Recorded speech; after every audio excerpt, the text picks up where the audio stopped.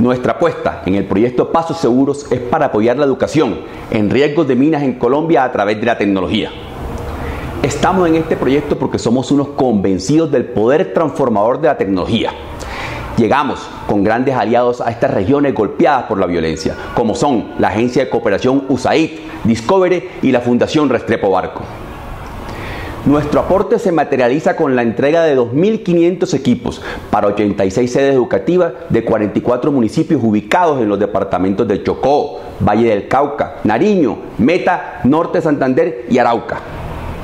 Pero sin duda, lo que más nos importa y lo que más nos motiva es contribuir con un proyecto que salva vidas.